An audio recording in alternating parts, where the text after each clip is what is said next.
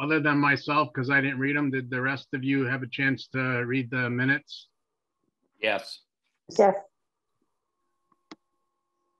Motion to accept? I'll second it. I have a ma- motion made and then seconded to accept the minutes as read. I'll do a roll call vote. Betty, Yes. Susan, Yes. Tom, Yes. And myself, I'll abstain because I didn't read them. If that, otherwise they passed. Um, next item on the agenda is to review and discuss changes to the job descriptions, work hours worked and pay rates. And the first one is the town clerk in regards to requests for increased hours. So Amy, have at it. Hi, I think most of you know me. Um, so I'm sure most of you know that Lynn Sibley resigned as the town clerk on July 1st of 2021. And I was appointed by the select board until the next annual town meeting, which is June 14th. Um, a couple years ago, Lynn submitted a request to the personnel committee to increase the position's hours from 19 to 22, um, which was granted. Um, she also, in that memo that she wrote, um, said that you know the position could be potentially more than 22 hours a week. Um, so I've been in it for the last eight months. I'm also the assistant treasurer collector, and I work 10 hours a week for that position. So I'm really here 32 hours a week. Um, so I'm here Monday through Thursday, eight to four. And I've noticed um, that people come in a lot for the town clerk um, responsibilities. Um, so I'm requesting that for an increase from 22 hours per, per week to 28 hours per week. Um, I have my list of responsibilities in my memo that I do on a daily basis. Um, I don't know if you want me to go over those at all. Yeah. Any questions?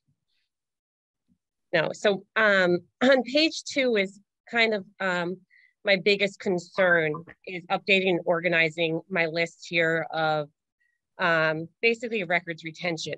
Um, it's pretty time consuming. There's some catch up I need to do. Um, and it's a pretty important part of the job. Um, I work a lot with the historical commission um, when they either have a project going on and the planning board, zoning board, all of their files. Um, I would like to keep up to date and um, annual town meeting minute books and all the boards and committee meetings um, minutes are my responsibility. So I'm a, I would, in my opinion, I feel that this is, it's very time consuming. Um, also, there's going to be a pretty big transition over the next year where Lynn plans on retiring in um, March of 2023. Um, so I also still want to be able to provide the same level of customer service that she did uh, when she was doing the dual positions as treasurer collector and town clerk. She was here for about 43 hours a week. Um, so, so there was always coverage. Um, so this might just be me personally, but my main concern is um, the perception that I'm not here. With 22 hours a week, it's not even three full days. Um, so I I still want, I mean, that could be just an adjustment for the townspeople. Um, but I, I do feel that there's a need for more than just 22 hours per week. Um, I did provide a, um, a, a, survey as to other surrounding towns that and the hours that they work per week. Um, it's pretty interesting, the town clerk position. Um, a lot of these, um, well, I just went to a town clerks conference and a lot of the town clerks are, are older. Um, they they live and die for their town. They they work the hours that are needed to get the job done, and a lot of them work more than the hours they're paid for. Um, and I I respect that. I I um, some of them are trying to work towards getting their hours increased or their pay increased. Um, I'm I'm not one to be able to get paid for 20 and work for 30. Um, but I, I respect that, you know, they, they, some of them do it and they love it. And um, but I so there's there's some towns that you know I didn't get too much information from Ashland or Buckland, but I, I can definitely do that if if you guys request it. Um, Conway's up there at 25 hours a week. Hatfield, she wanted to have a conversation with me on the phone about it. She is going to go for a salary increase this year. Um, I wasn't able to get a hold of her. Um, so she is working towards job changes. However, she is one who has been there and will work as many hours it takes to get the job done. Um, so there's other towns I don't know Leverett and West Hampton's office structure. I don't know if it's like a joint position and it's a town administrator and a town clerk um, to work such low hours.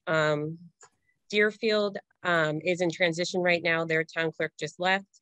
Um, so, and it was a town clerk treasurer collector position. So they're dividing the positions and no decisions have been made yet. Um, so that's kind of where I'm at with, you know, I, I would fall on the higher side of hours, which I understand. Um, however, I do think that the work is, you know, relatively similar to Sunderland and Deerfield, our surrounding towns. Okay, um, I'll open the floor for discussion. If your hours were to increase, you're proposing four hours a week, would that put you in the office on Fridays or how, when, how would that work? Well, so it would be an increase of six hours per week because I'd go from 22 to 28. Okay, Um, right now, due to I have my youngest son's daycare is closed on Fridays, so Oh. I I'm hoping to have him transition into preschool in either July or September, which would give me the ability to have the I could be in the office on Fridays. Now, dividing up now the hard part is is if I am granted the 28 hours per week, how the appropriate way to divide that up. Um, so Mondays, there definitely seems to be a need for an eight hour shift on a Monday. I don't know if I can, I should spread it out the rest of the week or what, you know, so far we've been doing pretty well with being closed Fridays. I, I don't think there's been as much of a demand, Brian. Have you, with you being here, have you noticed a lot of foot traffic walking away or? Uh, very, very, very few, if that, Yeah, and I, if anybody, I do get the, the occasional um agenda on a Friday for a Tuesday meeting. Um, so I'm, I've been kind of tossing the idea back and forth of either giving out my cell phone number. So if there was need that you needed to send an agenda in on a Friday for a Tuesday, you know, shoot me a text and I can easily put that up. Or um, I also considered um, having notifications come up on my phone for when someone sends an email to agenda at whately.org. I can Uh-huh. at least know it's there and get, you know, get to it as soon as I can. Um, so, you know, that's, those aren't the end of the world. I'm, I'm more than willing to do that. It doesn't happen often, but, you know, I'm, I'm fine with being available in that way. Yeah. So, Anybody else have any com- comments and questions? Yeah. I'm just looking at your budget, Amy, and the Yeah. your sal, you you know, it doesn't give me what you get paid by the hour, but your salary is thirty-one thousand. How much is it gonna add to your, to the salary budget? Can you tell me? Or do So I have to figure it out? no, it's, a- so it's hundred and fifty dollars per week. So it's a- around eight thousand dollars a year. It would increase. So we're, Yeah, I- I'd be a little shy of forty thousand. Okay, I just did the math and it's eighty-four thirty-nine, Tom. okay. Thank you, Keith.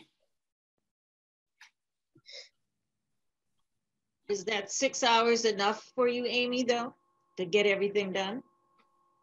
Um, I feel, so I can answer that for what I've experienced in the last eight months, yes. I don't, I haven't been through an election yet. I haven't been through an annual town meeting yet. Uh-huh. I, so I know in twenty twenty-four, I'm gonna have five elections. And, and I, and I understand that those weeks, I probably will do forty, maybe fifty hours a week. But I, so I don't know, I, there's gonna be obviously a balancing act in the position too. Um, so, you know, this, I would say for right now, yes, the twenty-eight hours would be sufficient. Um, and I, election years might be, you know, the heavier election years might be a little crazy, but uh, we'll have to figure that out when they come.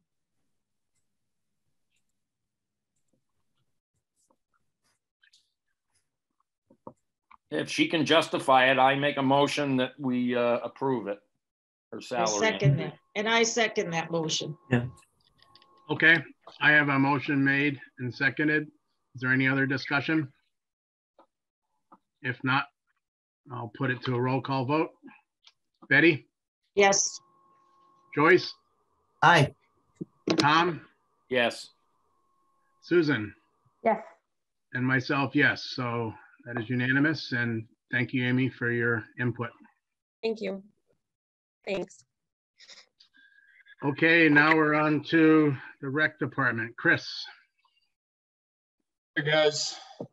Yeah, so um, I am currently the chairman of the Recreation Commission. I uh, took that over over the summertime um, in 2021 last year.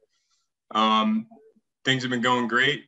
Really enjoying it. Uh, this was, you know, this was something that right when I moved to Whately, I I immediately reached out to John Edwards, to Tom Sadowski, um, was trying to get on this so I could get into it right away.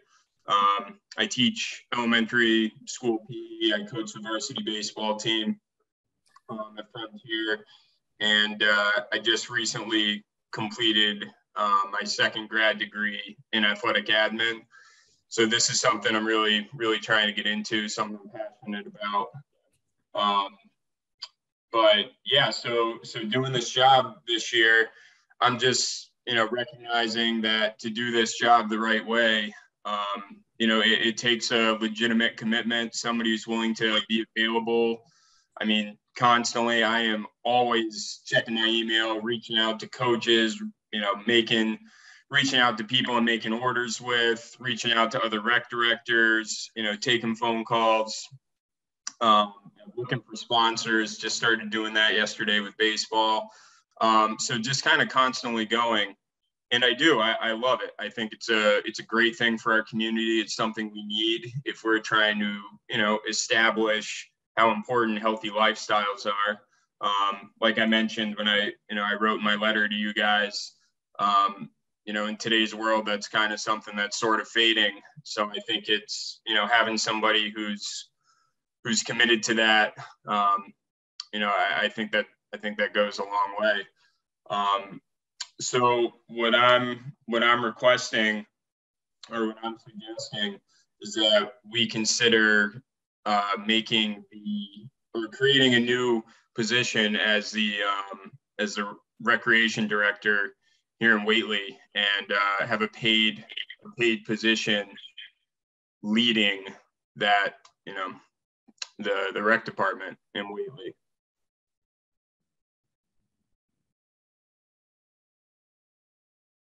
So um, yeah, that, that's what I have. I guess I'd like to hear um, some questions from you guys, um, some things that I could be more clear about. okay, does anybody have any questions for him? Joyce, I'll start.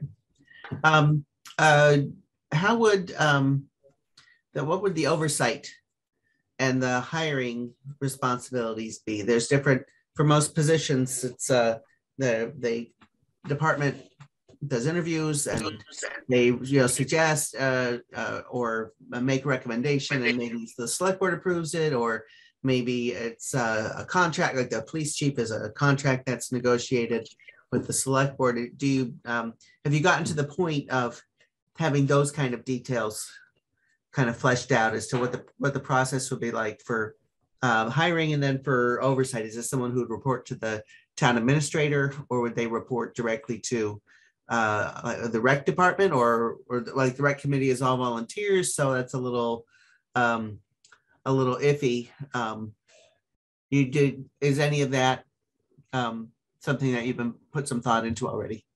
Yeah, so I mean, when it comes to something like that, you know, I'm totally, uh, you know, I'd support whatever the towns, you know, however you guys go about that type of thing. I'm certainly, you know, in favor of cooperating with that. I think that, you know, I guess my under, what I would suggest is creating this position and then the town go forth with the pro with the hiring process, interviews, um, you know, et cetera, what, what the town does in order to to uh, select professionals for a hired position. And I would um, be in favor of that. And I also I feel like the Recreation Commission would be in favor of that. So by no means am I, um, you know, placing myself in a position before it's even created. However, I am sharing my experience to, um, you know, share with people how much how much effort does does go into this position, and how if someone is in that paid role, um, it's it's sustainability. It's somebody who's going to be there for uh, you know a number of years longer than just like okay my son's in kindergarten i'm going to do this for you know him and his sister for four or five years and then okay start over Yeah. you know um, Yeah, yeah. so yep Do you have a um uh, a list of like responsibilities for the person who would be in this job? Yeah, certainly. So currently, I would want to keep things. You know, we we would recommend that things stay how they are. But I don't have a description of that job. I mean, I'm, wait, unless it's in an email that I didn't see. Is there a job description in one of the emails, Brian? Because I, I don't think it's going to go anywhere without a job description. Right. Like, what are the responsibilities of the person in that position, and uh, kind of like, I, I think we need a lot more de- I, I would certainly need a lot more detail before I would be willing to recommend it. I completely agree with you that Yep. having a paid person running, uh, overseeing the rec department would be great. Because I, the same thing, when, when I was, a when I was a mother of small children, absolutely, there were some great people volunteering, but as soon as their kids got into the next, like middle school or high school, um, things kind of fell apart. And it depended a lot on who happened to be available to volunteer. So I think continuity and I, I think all the things you're saying are really great. But I think the kind of things we might need to hear are things like what are the duties and responsibilities? How many hours a week is this going to be, or is this going to be something that's more seasonal? Um, is it um, and and are they willing to like take on things like um, uh, you know like basically doing some of the legwork for the rec committee on like improvements at Hurley He, that sort of thing. Like I, that's what I'd be looking for in, in detail in a Sure. job description. Yeah. Um, so I that was I included um, so I logged my hours um, during since the start of 2022. Just kind of figured um, you know we've gotten through basketball registration and we're we're moving on as responsibilities were still going. So I didn't make a job description. Just kind of wasn't exactly that was why I sent you guys the letter and my hours. That was kind of my way of introducing this. Um, but I'm certainly happy to to share with you what I'm currently doing and what the duties and responsibilities of that position would be. You know, currently we're we're doing soccer, we're doing basketball, and we're doing baseball. Those are like the three main sports that we're you know that we're putting out for the town. Um, We're doing that pre-K through sixth grade. We're generally having four different levels. So pre-K and kindergarten, grades one and two, grades three and four, grades five and six. So you know, four different age groups. Right.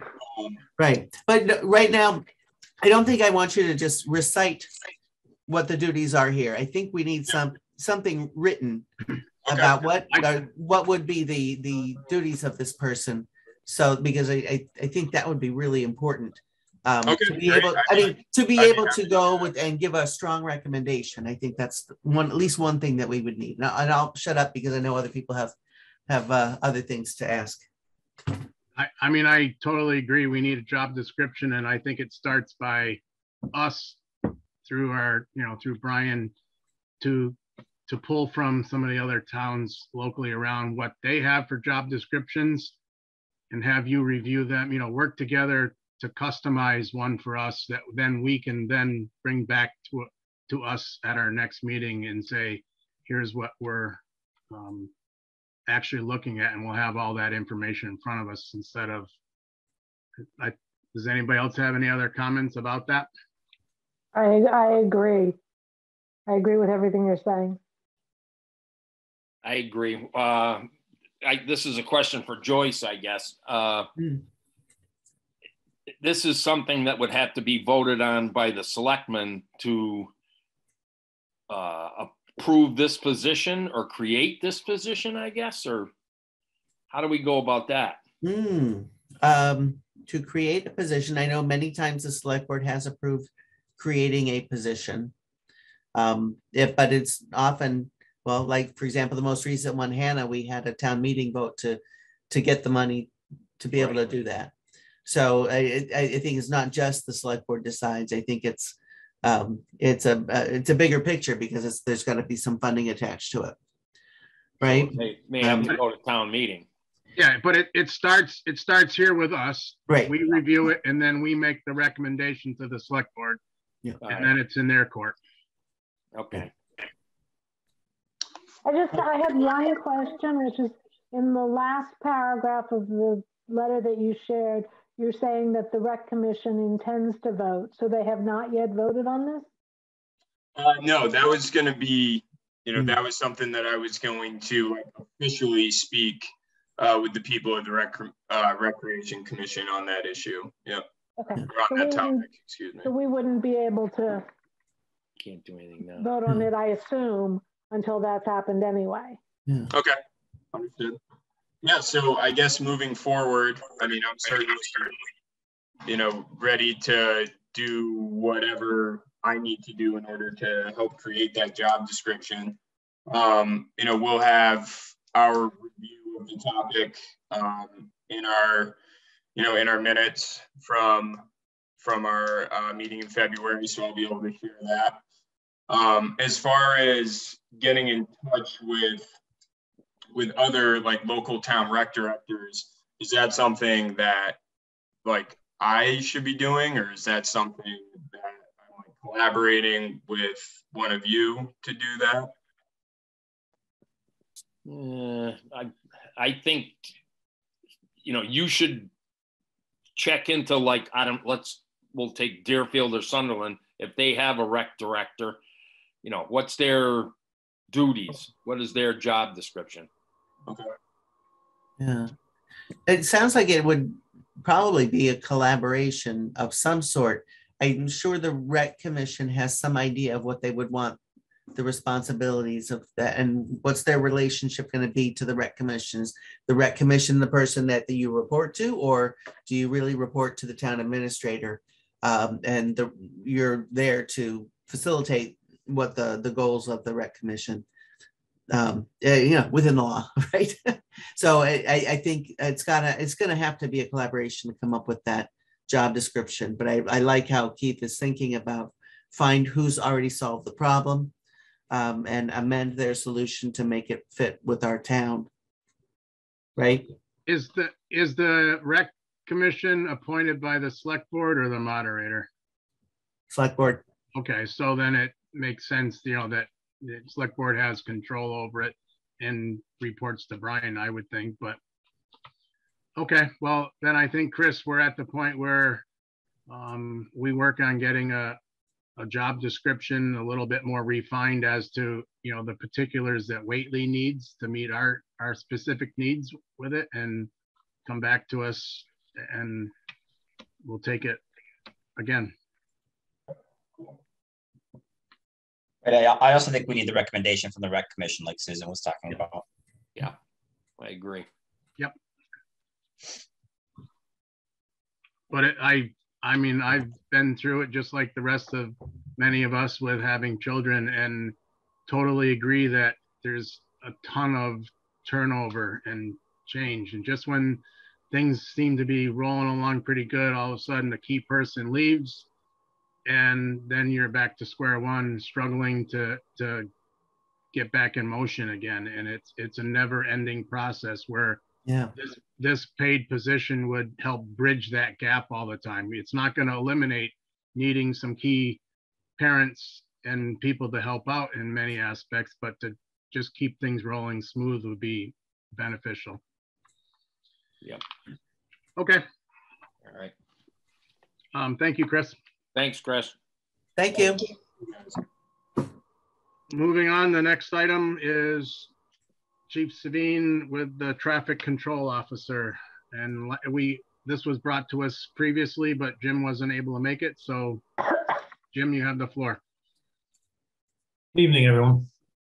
so I'm not sure what was submitted to you. I know I submitted a um, a policy that was written to Brian that kind of outlines the the position. But yeah, so basically, in a nutshell, the the position that I'm looking to create is for strictly for police details. Um, we have limited staff as it is on the police department, and increasingly over the years, we've had more and more difficult time trying to get officers to, you know, hire them for a police detail for whatever whatever reasons there there may be family issues they don't want them they're busy doing other stuff. So creating a traffic control unit so to speak it would be a civilian position so it, it wouldn't require a sworn police officer. Um, with the change in police reform and the new post commission uh, all officers in massachusetts have to be certified as police officers um, I think we've discussed this over the last couple of years. Part of that certification for our, our officers, they would have to attend an additional 200 hours of training right now in order to maintain or get their certification. If they don't do that, they would have to go to the full-time academy. So what we end up with is a lot of part-time officers that are looking to work work details. So having a traffic control unit a civilian position, I wouldn't necessarily need to have a, police officer. And it would, it might be easier for us to find retired police officers that want to continue to work details, but that don't want to attend the additional hundreds of hours of training that they would have to complete in order to just work a detail because they wouldn't be working any shifts or anything. They wouldn't be working patrol. They would only be directing traffic. So that's kind of why I'm looking at. Um, I'm not taking the position away from police officers. It'd be officer offered to police officers first, but kind of as a as a backup plan, I could have a pool of of uh, non certified police officers that I could draw from to work details. Because right now we have to go to other towns um, to, to to try to find people to work the details. Sometimes we have sheriff's department working. Sometimes we, we call in the state police. So that's essentially what I'm looking for as far as a, the traffic control officer goes. We would look at uh, retired police officers. We're in a situation where we we would potentially over the next year we would be losing um, three police officers that would have the ability to work details, but without completing this additional training, they would lose that ability to do details. So that's essentially what it is. It's not a very long policy. I'm, I'm sure you've all had an opportunity to take a look at it. If you have any any questions or if you'd like me to explain anything further, I'd be happy to do that. I mean, one thing. Read, go, oh, ahead. go ahead. Go ahead. From what I read, Jim, the it's not we. It, there's no additional expense to the town. Uh, insurance, uh, county retirement comes to my mind. Uh, they're not going to try to get on our health insurance or mm-hmm. it, this is uh, and all the town is doing is the town gets paid by the contractor and turns around and pays the traffic control officer. Is that the right, right. idea? Correct. It, it, it uh, financially or administratively, it doesn't necessarily change how we do anything right now. Um, the only thing that would change is by these officers becoming non-certified officers, it creates a civilian position, which takes away the 111F for injured on duty. It takes away um, the hmm. insurance or the uh, I'm sorry the the retirement aspect of it from a county retirement for police officers. So it puts them in more of a, a civilian position. The rate of pay is the same as what we get for detail, so there is no cost to the town.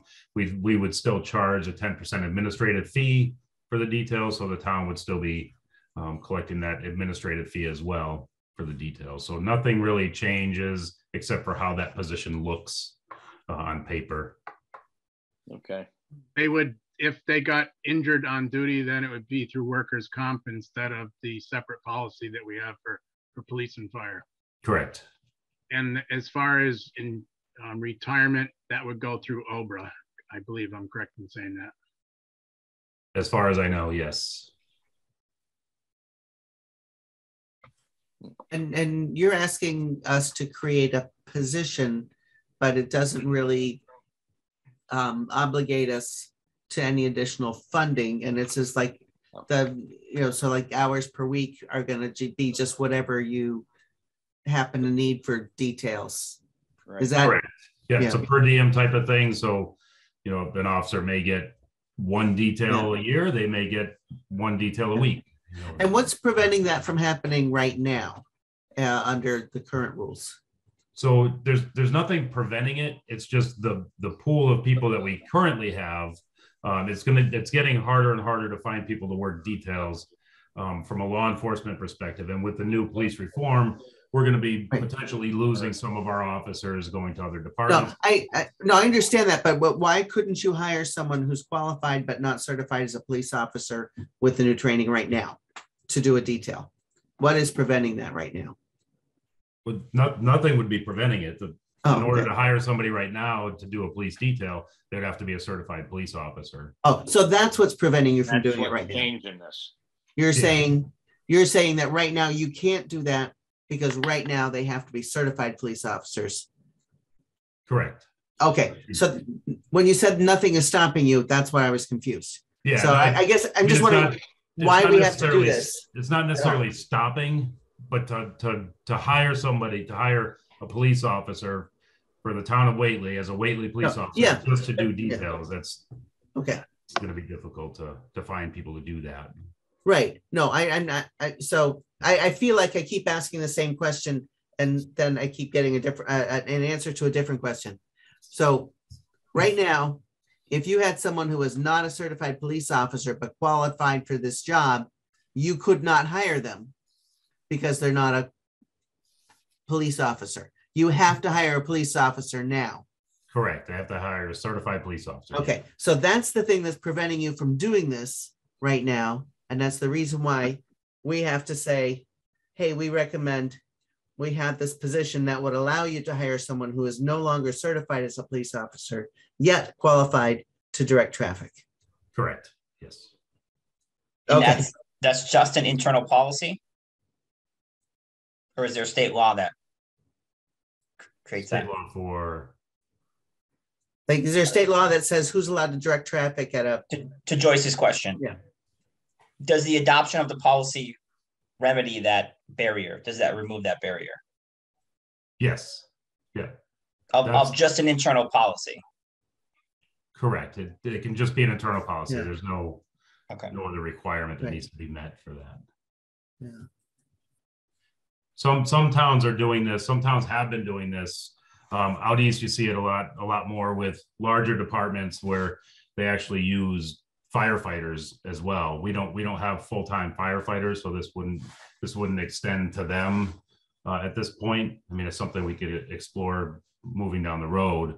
Um, but there's, there's departments that use, you know, their highway department guys or their fire department guys or it's not necessarily police officers, just because the, the difficulties in finding people to, to do the details now. Susan, do you have a question for? Yeah, so would the pay for the, the hourly pay be the same as what we're paying the certified police officer now, or would it be different? Nope, the, the pay would be the same. The pay, it's paid by the vendor, whoever it is, Verizon, Eversource, whoever it might be. So the detail rate is set. It's currently at fifty dollars an hour. Um, that's, that's currently set, so it would be the same for uh, this position and the same as for a police officer to, to do the same position. Do the So same there, job. there's no difference to us in terms of what we're paying, but it broadens the hiring pool, makes more people available? Yep. Correct, yes. Okay. Yeah. Thank you. So uh, it sounds like what we need to do, we'll, we can, again, make a recommendation to the select board and let them make the decision, but am I correct in that, Brian? Um, yeah, we, uh, we would make a recommendation. I, I, I have a question for, for, for Jim, if I, if I may. Um, it, I mean, the title's traffic control officer, but let's assume we have a crystal ball and in a couple months, there's details at, let's say, some establishments in town. Um, what do you, how do you feel about, you know, this position? Is it gonna be like, it, says traffic, but are you thinking broader in terms of No, so it's, so it's, it's kind of, it's outlined in the, the policy, but it's more of a discretionary thing as well. So if we're, say, we had a, a detail at Castaways, that kind of requires a police officer because there, there may be a fight, somebody needs to get arrested, something like that. It's a uniformed position. So this would be more for traffic control, you know, working a parade, working a, you know, special event, uh, like with the, the two fiftieth coming up, you know, we could, we could have people helping with parking and directing traffic in and out of areas and helping pedestrians across the road, that kind of thing. So it would follow the same policy. I mean, if they did a detail for the town, it would be a different rate. It'd be a lower rate because we have a different rate for town detail um, as opposed to a private detail. Right. And then what if I'll use any, oh, I don't know who to.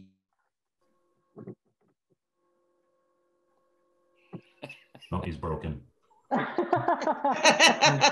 Oh, no, his neck is broken. We need a screenshot to show him. That make a good picture.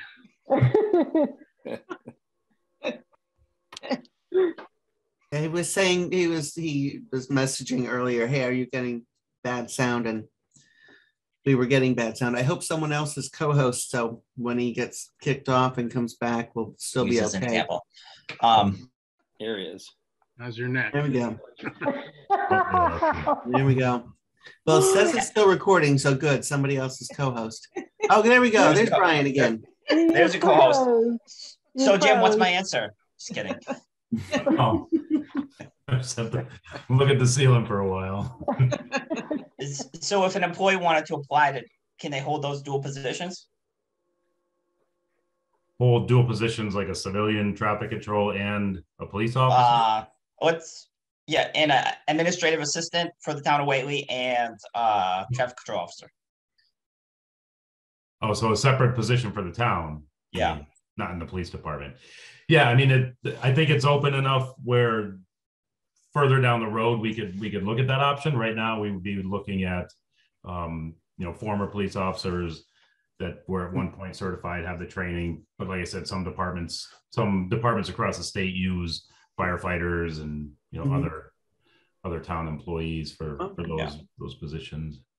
Maybe down the road, Brian, but not right now. Right. There's But the what- answer to your question. So what would the- the qualifications, what's the training required? So I would think, I mean, if it's a job that the, if it's a position that the town has, then, you know, we, we just set the criteria. What do you need to train? And then we shouldn't be prejudiced against one person or another. Right? You know, It's up to Jim.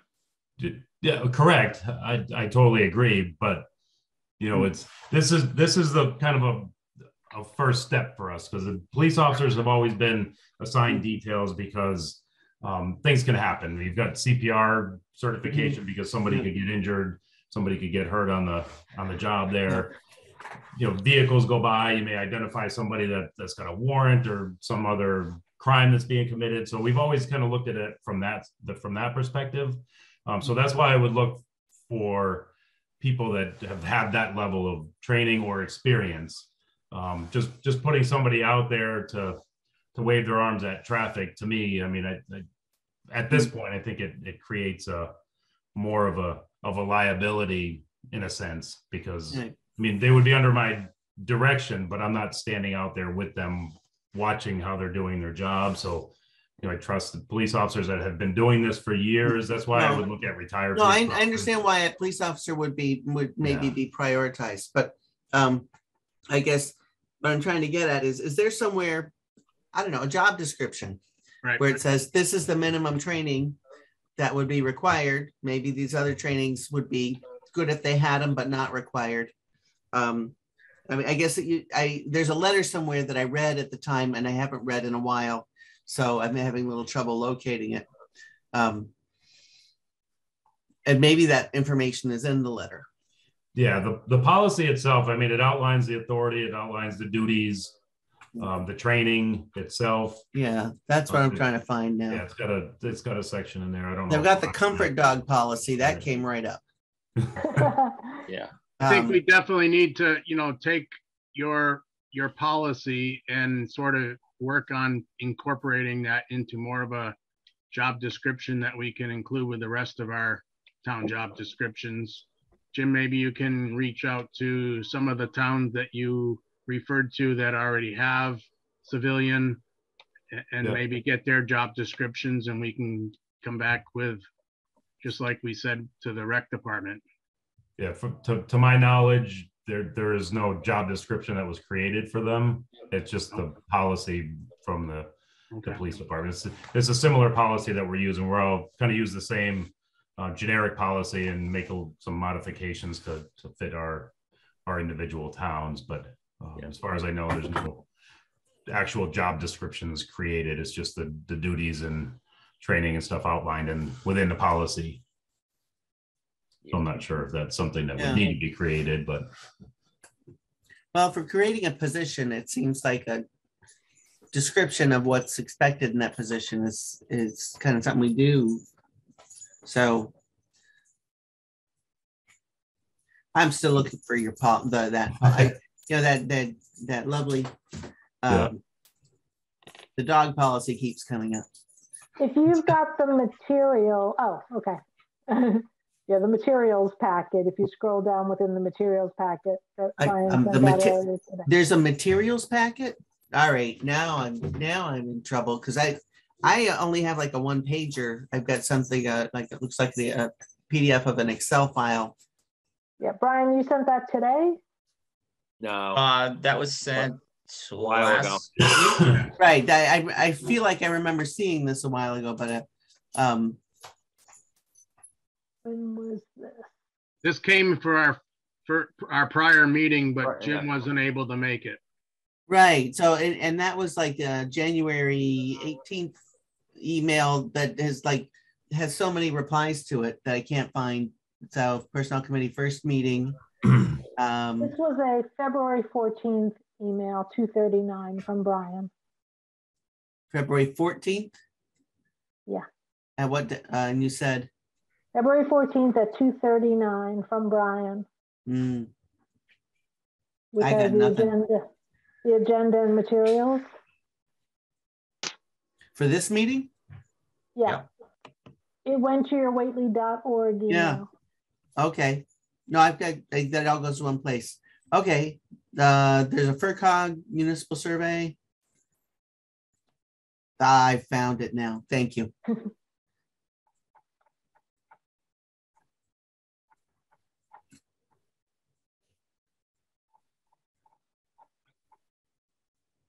To Keith's point, I think if I'm thinking about the the the file of job descriptions that I have on on my computer, I, I think we do have sort of the the town of Whately formatted job descriptions for I think we have it for police chief, police uh police sergeant, and uh Part-time. Part-time? part-time police officer. Yep. Um, so I think it will probably make sense to create one of those, and but I understand, Jim, you also have this, you know, this policy for your, for your operations. Yeah, so that's, that's what I was, I was just wondering if creating a job description in, in lieu of a policy or if the policy, because like I don't, we don't necessarily have a policy in place for the sergeant's position that goes by the job description, so. Right. That's, that's why I submitted the policy, because I was, I thought it was, you know, absent a policy, then you would need a job description, but I could be wrong on that. Yeah. But I don't think it would be difficult to, to create with that format anyways, so. Yeah. Yeah, I don't, I don't think it would be that, I would, I don't think it would be that heavy of a lift.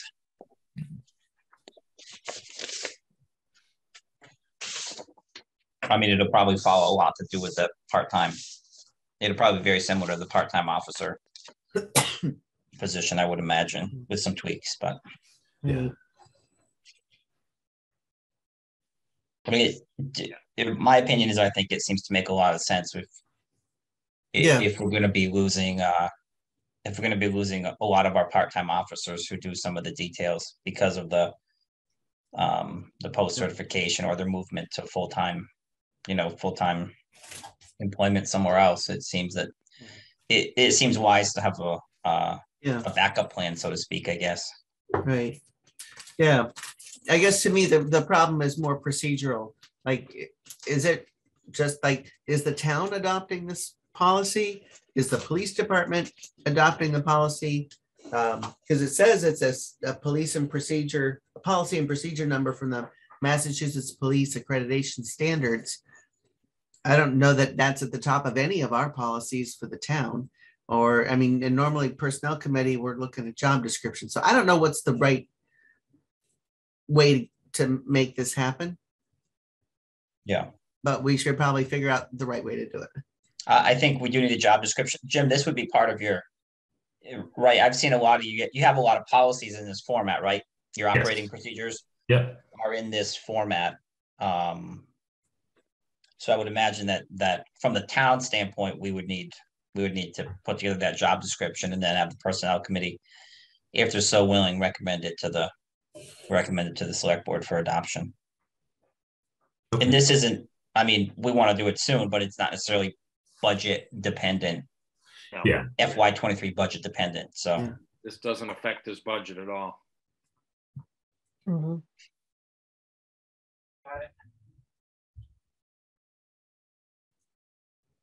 All right, so. Yeah, I I think I have, I think I have the uh, part-time officer job description. I think I have the job descriptions anyways in whatever word format. uh, You so I can can- modify it in some way. Yeah. Yeah, I, I could put something together, get it to Brian. Yeah. Okay. So Brian, you and Jim will work on coming up with a policy that, or I mean, a description that you can come back to us with then. Yeah, I think that, I think that's Okay. really doable. Yeah. Okay. Beautiful. All right. You all set, Jim? Yep. All right. Thank- thank then- Thank you for that update. Um, the next item on the agenda is the operator laborer.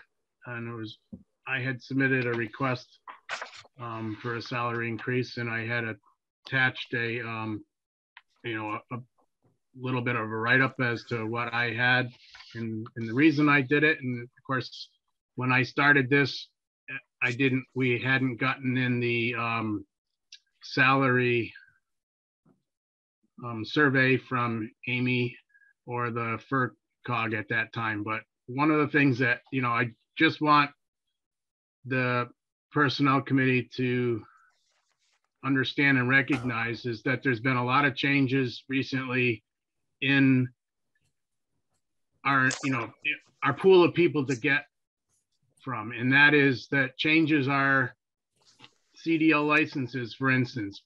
Previously, well, I won't say it was easy to get a CDL license. Um, I could, for instance, hire someone who didn't have a CDL license and the town could sponsor that applicant and they could get their permit and then the town could have them take the town truck and get a CDL license, just like any of the local contractors around here could do the same thing. Well, as of February 7th of this year, it's become a federal law that says that all new CDL applicants must obtain um, a training course that is approved by the federal government. And so consequently, in locations around here, that means to go to like Tri-State Tractor Trailer or some of these um, businesses that are in, in business to make money. And so it's become very expensive, somewhere in the vicinity of $10,000 for, for young people to spend out of their pocket to get their CDL licenses. And so um, another thing that I had done is just had thought about taking a look at the minimum wage. And for that matter, it probably um, is interesting probably to look at some of our other town positions, but um, in my write-up that over that same period of time, the Massachusetts minimum wage had gone up 78%. And during that time, same time period, the operator labor had gone up 32%. So half of basically what minimum wage has gone up. And so, you know, the job doesn't require a college education, but at the same point in time, it's it's certainly a skilled position that requires a little bit more than just a high school diploma. Um, and that's why, um, you know, I had suggested, and maybe we can further look at it when we look at the um, the salary survey that we do now have, but um, I just know that it's my my lowest rate is at 2096 right now. And when minimum wage is that going to be pushing $15 an hour there's not much difference and in between the two. And you know i know tom you work for contractors and to, to get somebody to come to work for drive truck for $20 an hour is very difficult. And that's why we've gone through numerous um, people coming to work for us most recently this past year i had an employee work four four weeks before he ended up taking another job with more money. So it's we seem to be going through a lot of employees coming and going to to make a lot more money. So we spend a lot of money and time on training. We spend a lot of money sending their these employees to physicals and the town's paying for all this stuff and then we turn around and lose them. So that's really all I wanted to bring forth. And the other request that I wanted to also say is the part-time part-time operator, labor driver position. I'd like that to be increased to $22 an hour. Um, that right now um, was at, it's really low. I don't know what that is at the moment, but that's not even on our, on our, our sheet because it's not a, um, but again, to, for me to call um, somebody up in the middle of the night and say, "Hey, we need you to help us plow snow," I, am not gonna I'm not gonna get somebody that's gonna get out of bed for sixteen dollars an hour, uh-huh. and and so I don't feel twenty two dollars an hour is you know out of the question as far as being fair to offer somebody to come in and drive truck. You get what you pay for. Mm-hmm. Mm-hmm. I mean, the, Tom, do you think that you know you've worked for like the contractor side of things? Twenty-two dollars an hour for a part-time guy to come in and plow that's, snow. That's that's still pretty low, but if you know if if you can get somebody to do it, that's you know. Yeah, I mean it's it's I understand that it's it's lower than a lot of the private contractors pay, but it's more than presently what we do. So it's right. You're, we're talking about you know being contracted by the state versus working for the town. So it's you know it's hard to compare. But I'd I'd say you're you're you're fair enough there. So and to raise the the full time operator truck driver rate to you want to raise it to 23 something uh, you know uh, the the base position for a new employee to come in off the street, I wanted to raise to 2250. Yeah. Um, and then we have the other position is the operator. After you've come to work for us and you've been here for three years, that would be a 2325, that position. But um, there again, I don't mind taking this and sort of tabling it until we get into the salary adjustment stuff.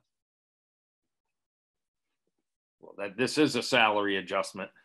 Well, I mean, we're not looking at our the the spreadsheet that we have that was prepared. That's all I'm saying. Yeah. I mean, if all right, that's Brian's yeah. putting it up now. If we want to, okay, this is the one that would have. Yeah, one sec. This is the this is actually our wage spreadsheet that that we use. So I just wanted to show the the current part-time operator would have been on that one.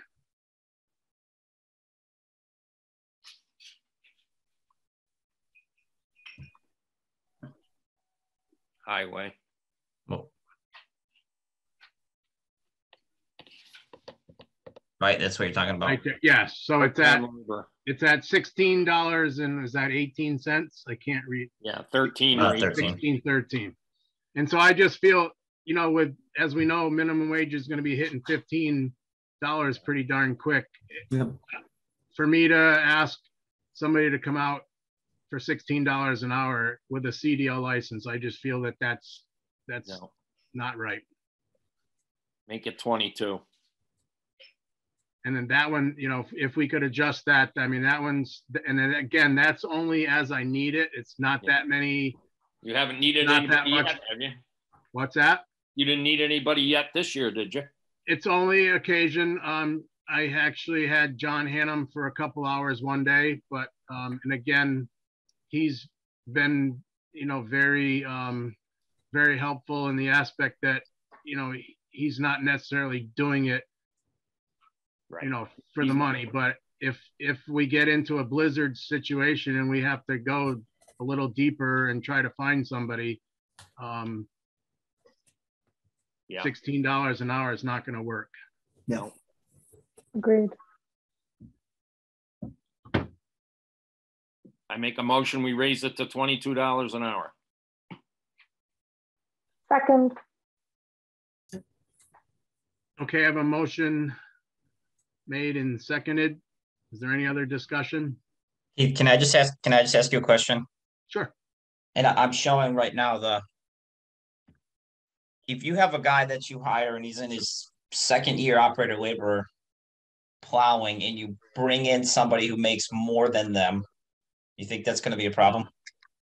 Well, that's, I mean, I understand what you're saying, but, and that's why I had, um, I had requested that the, that where you're boxed in right now, that position go to twenty-two fifty. That was my, that's my request. Then what about uh operator labor three plus years? They'd be making, Uh, More than Operator that, labor plus three, I was requesting at twenty-three, twenty-five. okay, But yeah, I, I guess if we get to the point where we do not, um, decide to make those adjustments to the operator labor, I understand what you're saying, and maybe then we need to keep the part-time position underneath. But again, it's, it- You know, But I just wanted to make- said, I just wanted to bring that up. Yeah, I get what you're saying. the other way to look at it, Keith, is that the, the full-time guy's getting benefits, uniforms, da, Yes. da, da, da, da. the part-time guy, he comes in when you call him and you pay him 22 bucks an hour. And he Okay, goes, and then he goes home. right, You can't collect Yeah, unemployment, nothing. true, okay. Okay, so that. is just remember that other- argument. Any Yeah. other discussion in regards to the, the motion on the floor? If not, I'll put it to a call. Betty, Yes, I agree. Susan, yes, Tom, Yes. and myself, oh, Joyce, I'm sorry. Yes. And my, and myself, I'll abstain because it's my department.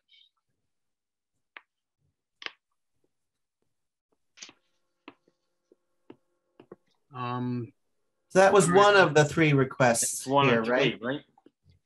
yes, if we, I, but I, you know, like I say, I don't know if we wanna We can take up defer that. other, Okay. Do we want to take up the other two requests when we do our, the big spreadsheet amongst all the other? Or do you want to just take care of them now? Just take care of them now. We're looking. Yeah. yeah, I'm fine with that. So operator labor, one to three years is gonna go from twenty uh, fifty-four to twenty-two fifty. That was, that's my request. Okay. I make a motion, we raise the one to three year operator labor to twenty-two fifty an hour. Second, Okay, I have a motion made and seconded. Is there any other discussion? If not, I'll bring it to a vote. Betty, Yes, Susan, yes, Joyce, Yes. Tom, Yes. and again, myself, I'll abstain since it's my department. The next one is the operator labor plus three. Plus three is gonna go from 20 21, 22 to 23, 25. I make a motion, we raise it to 23, 25. Second. No. Sorry, Joyce. That's Sorry. okay. You snooze, you lose around here. Okay, I have a motion made and seconded. Is there any other discussion? If not, I'll bring it to a vote. Betty, Yes, Susan, Yes, Joyce, Yes. Tom, Yes, and again, myself, I'll abstain.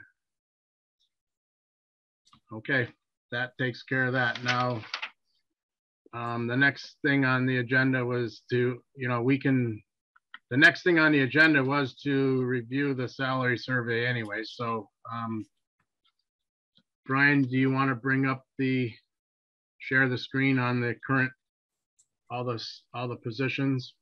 Yep. Can you, can you see that? Yes. Okay.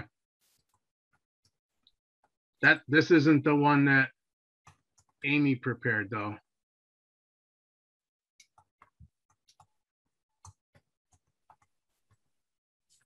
Let me reshare.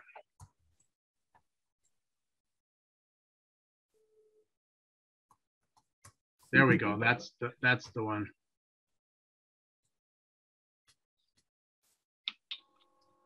Yep. So Amy reached out to all these towns and well, the towns that we compare ourselves with. Um, again, it was a what we get back is sometimes inconsistent, and we right. try to do the best we can with what we have. Um, so I mean, everything was was pretty consistent. The, I'm gonna skip down. If anybody has any questions, we can address them. But I'm gonna skip down to um, which one's up first here? It looks like it's the librarian. Um, is the one that seemed to be a little low. Uh, the first one that seemed to be a little low. Um, currently the wage is twenty-two ninety-three, median actual is twenty-four sixty-eight, and the average is twenty-four eighty-three. Obviously, there's variability and, and, and differences in the um, between Job the different library systems. Um, it's something that we struggle with every time we do this. Um, but overall, that's that's that's where it came out this time. Yeah, I guess I think she's probably definitely on the low end um, of these numbers. Mm, Um, Yeah, mid to low. I mean, one there's yeah. The one thing that your screen is not sharing is the last column, which is Yeah. the percent below, which in this case, she's seven point six three percent below, av- below the median. Yeah, there you go. Um, yeah, now you can't see the category. Now you can- Yeah. If we- If we shrink it down anymore, we won't be able to read You won't it. be able to read it. Right, right. Yeah.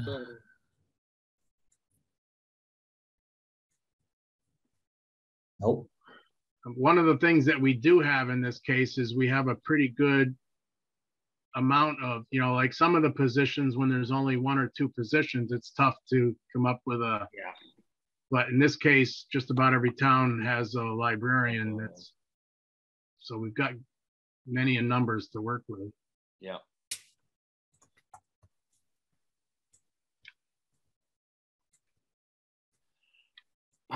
Is it, is it just me or, you know, part of me says if, if nobody from the library is advocating for a pay increase, Mm-hmm. should we be giving them a pay increase?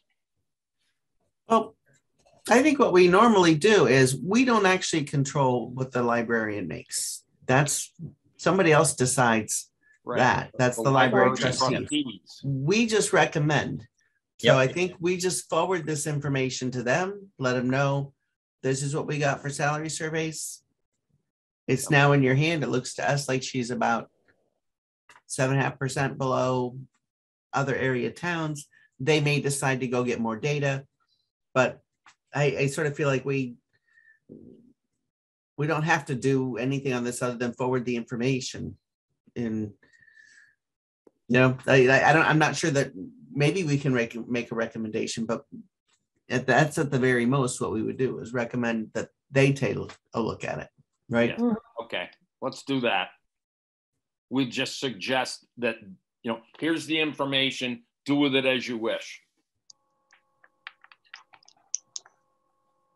Okay. Yeah. Um, you know, especially since the library is governed by, you know, the trustees, which are elected, I guess. Joyce, Yeah. that makes sense. No. And uh, I don't know if we, if we need to even take a vote, if what we're really doing is just passing the information along. Mhm. Makes sense.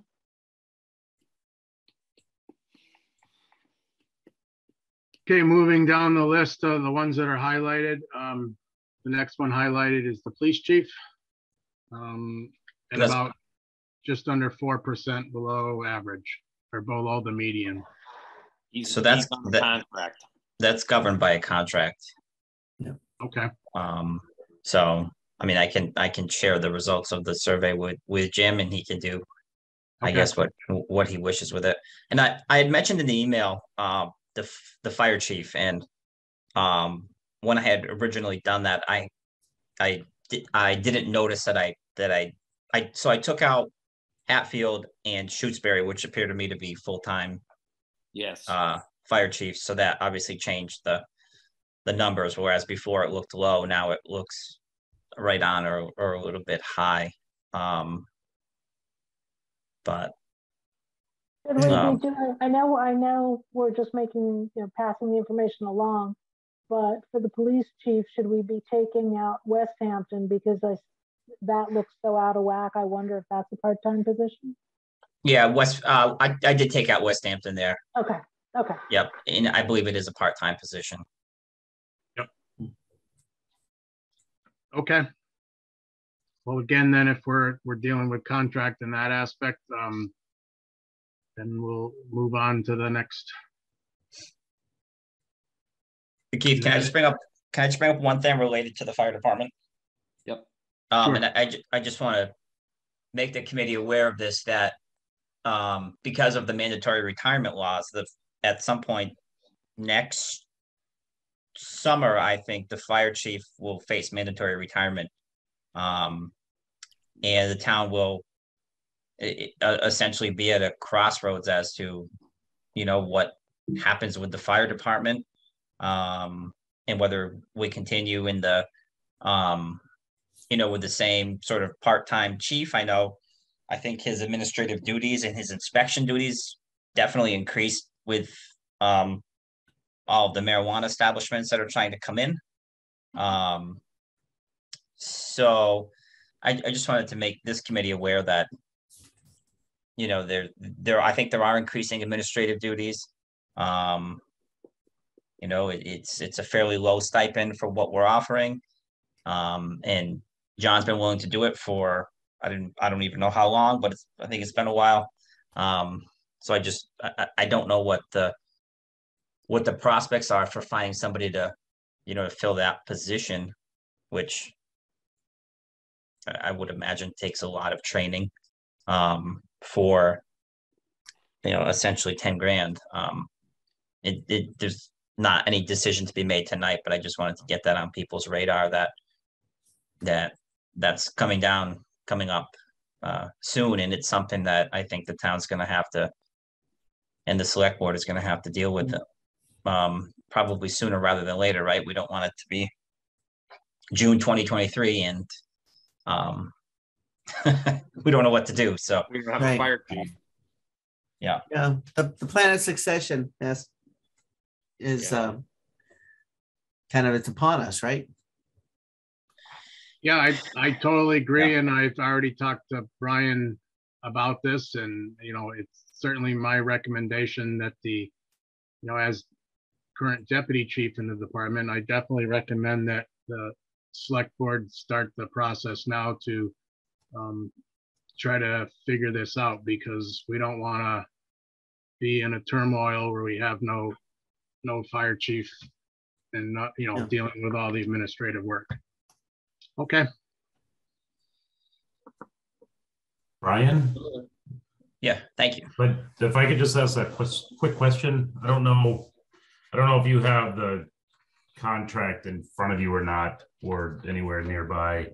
Um, but just under the compensation section, the salary is set in the contract, but it, it goes on to say that it'll be adjusted consistent with non-union employees upon the review of the personnel committee for, for my contract. So it kind of falls under this, this category as well. I mean, if the personnel committee makes a recommendation, the select board could look at that as well.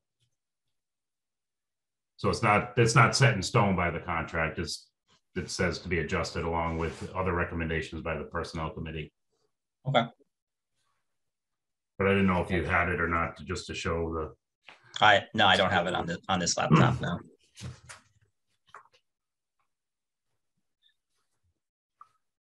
If, if that's the case, do we want to make any comments to, or any adjustments to the police chief position then? Or do we need to, Tell us what the percent is in the missing column. three point eight three percent Okay, thank you.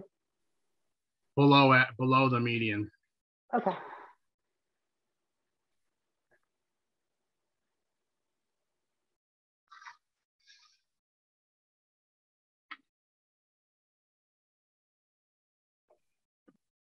There's, as far as the, if I could just make another point, as far as the uh, salary survey goes.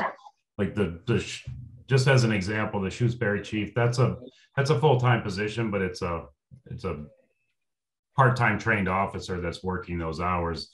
Kind of like Conway, they have twenty hours administrative, twenty hours patrol. They don't have the full-time training, full-time academy training type of thing. So, so those salaries, you know, are, are held by people with part-time academy training as well, just as a, another point of interest.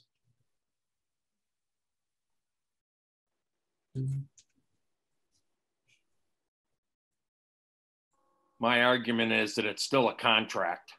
And it was, it was a contract between the police chief and the board of select, the select board. No, I agree. And uh, when, how often does that get reviewed? I believe it's yearly right now, isn't it? Well, three years, I think, three years is the contract period. So when is the next time the contract is up? I think we did a new one just last year, right? think Twenty-three? Jim, I think, 2020. 23. Um, yeah, I think it's, so it's three years, but we usually do like an annual sit Review. down and review it just to make sure that we're meeting all of the, the guidelines within the contract. Um, but I think the last one was in FY twenty, I believe. So we may be one, Something's No. gonna happen. Uh, just one more year. yeah.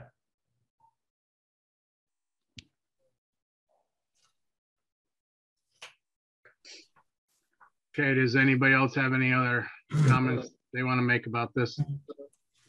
Yeah, I was uh, kind of calculating through. Um, we took out the lowest salary. I know sometimes we do this. We'll take out the lowest and the highest and take the average of the remaining. Um, it's still low in that case, but it's not by 3.8%. It's low by about half that. Um, because it- as I looked at it, it- the, the, the 34 definitely stuck out as, as way too low. Um, And then uh, there was one that's that's like 85. Um, that is the highest. And I just did the calculation because that's what I do. Um, and I thought that was it's it's still low even by a more conservative way of calculating um, uh, what it ought to be. So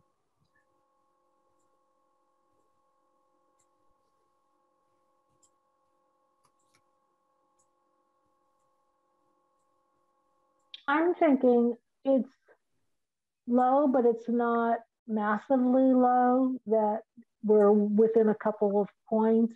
And if the contract is up for review next year, I don't know that we need to make what would be a very small adjustment at this point. That's my thinking. I agree.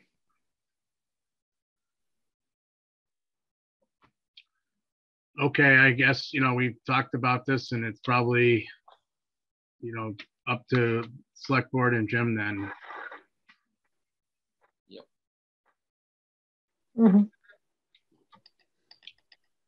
Okay, um, Next. the next one on there was the, that's under is the part-time police at about four point six percent below average.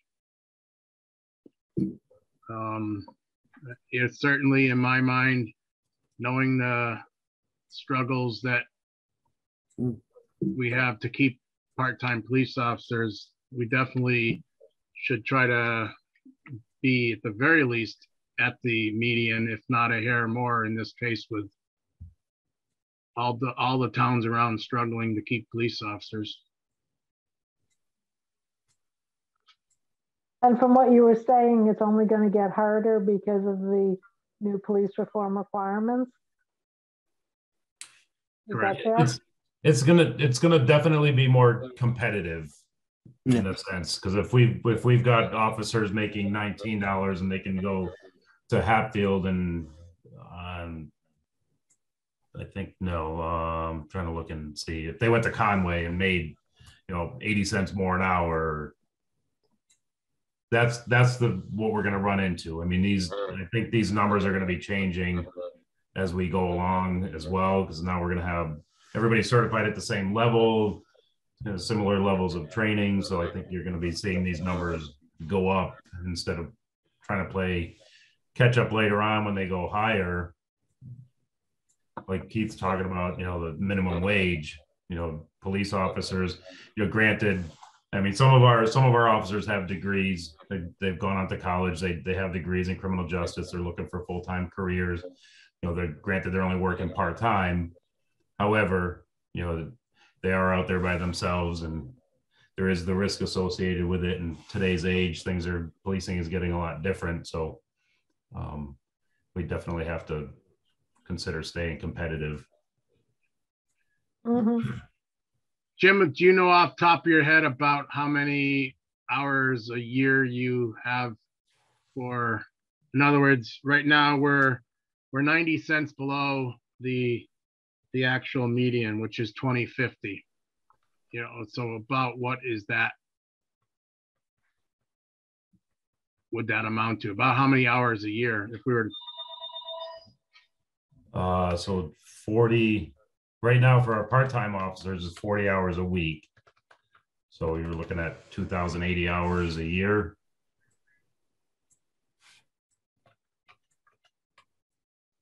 Nineteen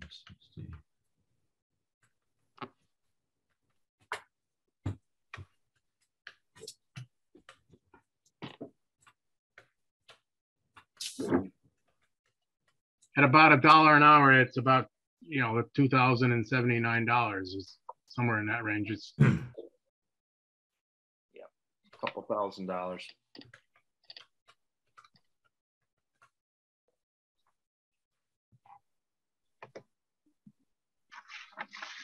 I- I mean, I, I certainly feel that, you know, with the police officers, with the, with what they do and dealing with the public like they have to do, that our part-time officers at least deserve to be making more than nineteen um, dollars an hour. And I, I would make a motion that we get it up to twenty fifty. I'll second it. Okay, I have a motion made and seconded. Is there any other discussion? If not, I'll put it to a vote. Betty, Yes, myself, yes. Susan, Yes, Joyce, Aye. and Tom. Yes. Okay. Um, Is there any other positions that anybody else here need wants, has any questions about?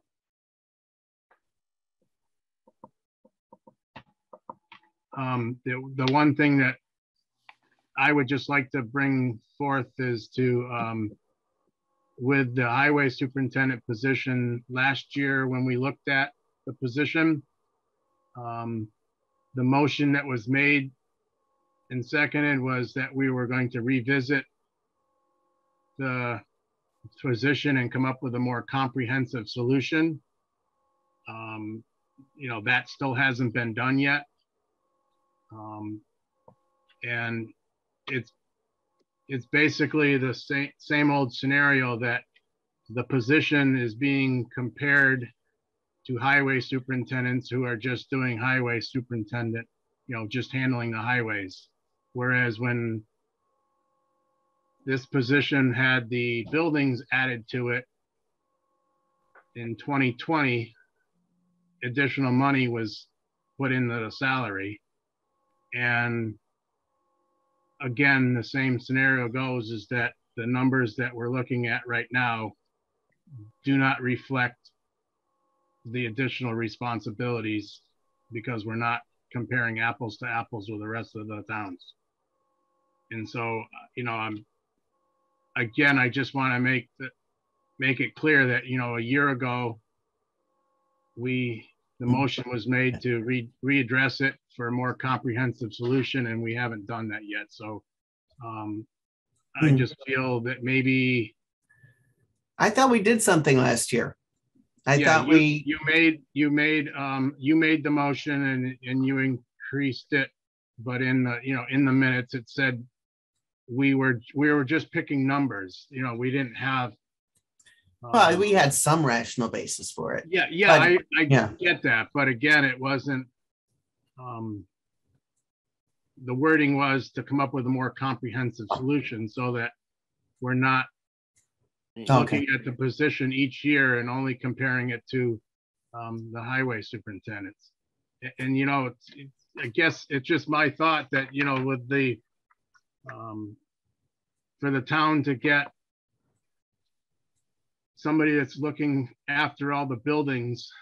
And believe me, we have found things at the town offices that had potential leaks this past year and did work at the library. You know, we're, we're doing a lot of work at other town buildings to prevent damage that normally would not be, no one would be looking at this stuff. And the damage would start Yeah. and once the damage has occurred, then we're certainly spending much more than we're paying, uh, you know, myself to, or my position to be looking after this stuff.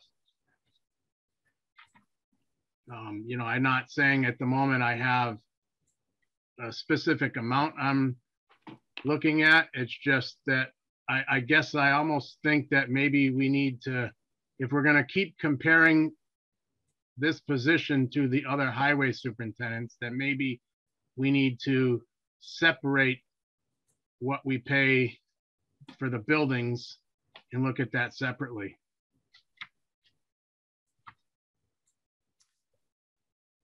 Well, at one point, we had some kind of a request for a building or buildings and grounds uh, person, I guess, that came from Billy Smith.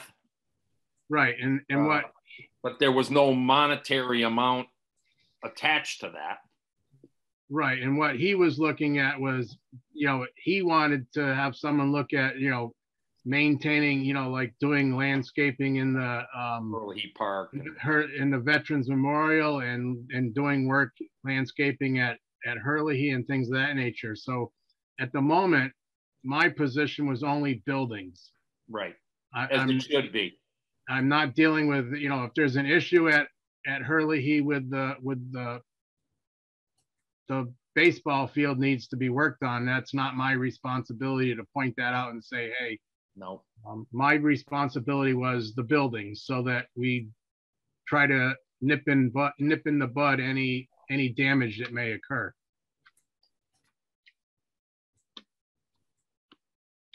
you know, the other thing that has been a, a, a huge task this recently in is I'm dealing with the insurance adjuster for the damage at the police station, you know, with the, the sewer line that failed underneath the concrete floor. I've had to put in a lot of hours, you know, of my time just to contacting the contractors that are involved in that. And as I said, the insurance adjuster, if, Hey. if I wasn't doing the building, then, then that would fall on somebody else. So, um, How are we gonna do, I mean, let's, I, I think we're just going around in circles. Um, how are we going to proceed to, um, to have a rational way of doing this? Is that, I mean, what would, does anybody have a suggestion about how to proceed to do that? No. I, I guess I, I have two thoughts on that. One, I think is what Keith was suggesting. Uh, if we create a separate line item for that that job, and that job happens to be held by the same person who has another job. The other thought that I had is looking at what we did last year. What percent did we increase the position? increase the salary for the position to account for the extra work. If we then look, Mhm. if we look at that number and in the future, always apply that same percentage to, okay, here is what we Yeah. would pay the highway person for highway. And let's add X, you know, we will always add X percent for the building responsibility. Those are two approaches I could think of. Yeah. So for example, if I understand you right, you'd be, uh, if we're looking at this one, it says that it's five point four six, so call it five and a half percent above. Um, and that we're happy with that being five and a half percent. So as other people's salaries increase, we want to keep that at five and a half percent if, you know, if this year's numbers were, were kind of a, a baseline. Does that, is that kind of what you're saying? Yeah, I, I think that's what I'm saying, but I'm also thinking that that gets complicated. And we all may understand that, but in years to come, will people, will that, will people know Hmm. what to do on that line Yeah. item? As opposed to if we just create a separate line item. you know, when you go back to, to, um, what we did last year with the, um, that, I mean, you know, it'd have to have, because again, the numbers in twenty-two again are skewed in my mind. If we go back to what we did for twenty-one, and that was, um, the medium in, in twenty-one was sixty-nine, seven fifty-two. Um, and the additional um, number that I had was given brought me up to nine percent. Uh, no, wait a minute, I've got that wrong. Um, I got. I don't know. I lost my train here in regards to that. Um, but I think I would agree with something like Susan is recommending that we that we just sort of separate it and look at it and be happy with that percentage over. And that will keep that percentage going forward and not always be working our way back to being under. Yeah. But I think I feel like there's problems with having a separate line because what do we do for comps? Like, what do we compare that to?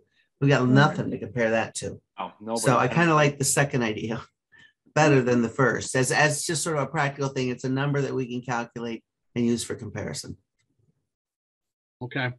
Yeah, I wouldn't, I wasn't sure which would be easier to execute. They're basically accomplishing the same thing, but I defer to other minds on the best way to do that. One of, one of my thoughts is if, and, and I, I realize you're a salaried employee, you get paid to work 40 hours a week, 52 weeks a year.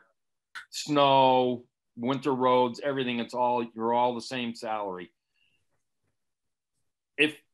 If, you're working more than four, to, with the two jobs combined, you're working more than 40 hours a week.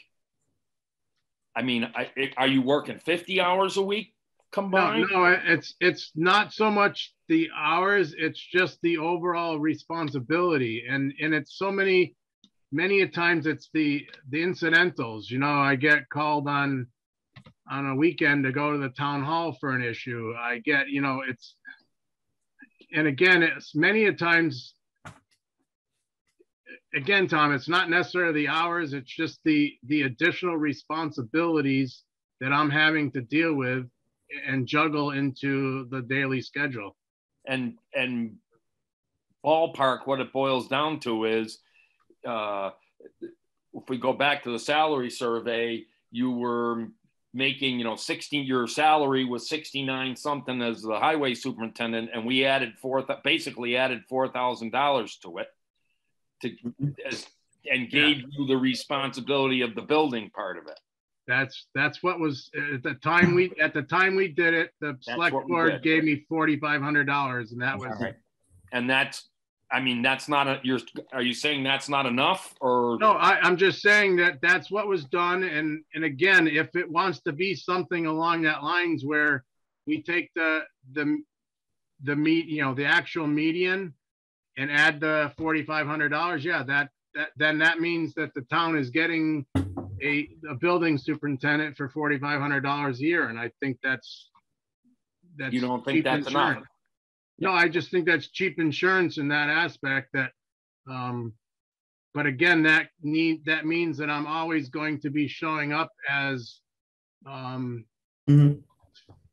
four to five to six thousand, you know, depending, and somewhere in that range over the, the rest Well, of the, should, should we break it into two positions? I mean, I don't, Hmm. I don't really understand that. I understand part of the issue here, but I don't, if we break, do we break it down into two positions now, but it still adds up to seventy-three thousand, seven hundred and something dollars? Uh, I don't know. Bruce's point on that, I think, was what do we do for comparables? Yeah, who do you compare it to? Right.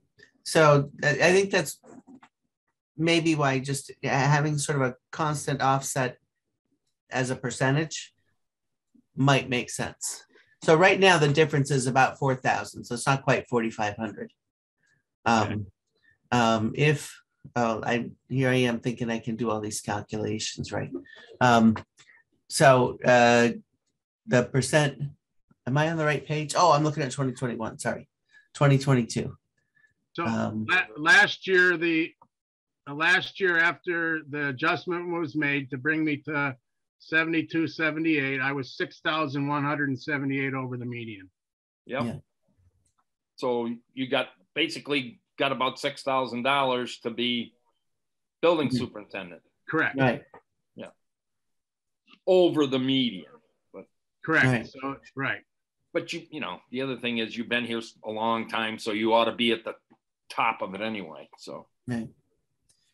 So I guess to me, the question is, do we, I, I mean, one column is the difference in dollars and one column is difference in percent. So should we be trying to maintain an absolute difference of six thousand dollars? Or should we enshrine that in a percentage? and it's it's kind of up to Keith in a way. I mean, it, it whatever he's going to be comfortable with. I, I mean, put it this way, if it's, if it's left, for right now, if it's left at six thousand, um, versus, uh, I mean, a percent, if it's left at Right. six thousand, it's, it's just status quo. Right, and, and- right, it's, and, and that, you know, as salaries go up, if the six thousand doesn't. So Right. I, I guess I would argue for fairness, it should be uh percent. On a So if I go over here and figure out um six thousand divided by seventy-three, seven seventy-eight, Seventy-two, seven seventy-eight, um, or, I'm, I'm doing this in the Oh, Excel spreadsheet. okay, yeah, I see. Yeah, what you're so I'm saying, just okay. looking at like current salary, right? Yeah, And um somehow that uh number's rounding it off, so I'm gonna get Um, that says about 0.08. That doesn't make sense. How did I do that wrong? Oh, because it doesn't, yeah, I need another zero there. That says about 8%. $6,000 is about 8% of your current salary that's in that orange column. So for a premium of that of 8%, you're the building superintendent. So if we were if, if we were to use that, I mean, I, I know it's been a year, but if we use that number as if as if we want this difference column to be six thousand dollars this year, that means we'd want the percentage column to be eight percent, and then use the eight percent moving forward, so that the difference would also be getting bigger if we do it by percentage. And that's something that I, I think is Yeah. fair in the fact that it, it Mhm. addresses the position. Yeah,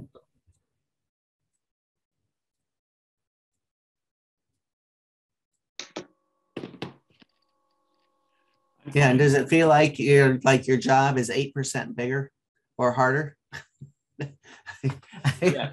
That's I mean, uh, you know, again, it's, it, when, right. It's not eight percent longer, but like right, it's, and that's the hard part, I, you know, I'm trying to get across that it's just so much more responsibility um, that I Mhm. have to incorporate and, you know, work that we've done like at the, at the town office this year, we've got up on top of the flat roof and determined that it needed some serious caulking to be done or we were gonna have water infiltrating through the roof and, you know, Yeah. without the oversight of that happening, it would, yeah. it- the town would wait until it leaks.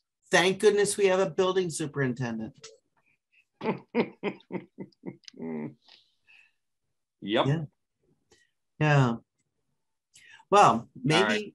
if I can put this into a motion, Yep. um, I move that we, uh, moving forward, handle the job discrepancy problem, the pay discrepancy comparison problem by uh, trying to maintain the highway slash building superintendent at a salary that's eight percent higher than the median for highway superintendents, just for the purpose of the salary comparisons. I'll second it. Okay, I have a motion made and seconded. Is there any other discussion? My only question is a execution question. Uh, how do we make sure this stays in our memory? How do we document this on the spreadsheet? Do we have a formula for calculating? Yeah, Oh, there's a formula for calculating eight percent. That's pretty easy. but Right, it's- right, right. But do we build that, you know, add, add a column into the spreadsheet so that it always does that Uh, as a reminder to always do this? Right. we, yeah, I, I- we could annotate the spreadsheet so that that information is there. Yeah. I- I- that's I would that's think all this- What I'm suggesting. That spreadsheet that we keep using, I think is probably a really good repository for that Mhm. information so that we remember it. Yeah, so that's, that's what I would, I, I guess I would add that to the motion that we record this in the, in the spreadsheet and have the calculation done in the spreadsheet. Okay, um, uh, that's a friendly amendment. Okay, then we have a motion made and a friendly amendment. Is there any other discussion? If not, I'll put it to a vote. Betty, Yes, Susan, Yes, Joyce, Yes, Tom, Yes. and myself, I'll abstain. Um, all right, like, is there any other positions we need to look at or we?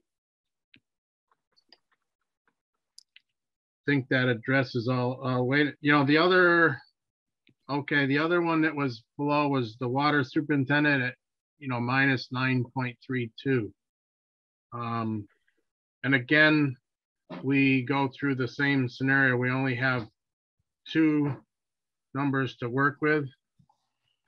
Um, yeah, and we, That's a water commissioner's problem. Yeah, Okay, And they're an enterprise fund. That's, that's kind of their issue. yeah. yeah, the one, one thing just that share I, the information with them. We and- can, we can make a recommendation, but we, you know, we have no power over them. Right. And given that we've only got two comparable numbers, we take the average, but we would, you know, get rid of the lowest and get rid of the highest, and there we've got zero. So I think he's better off uh, with us not making a recommendation, No, um, because because we don't really have enough data.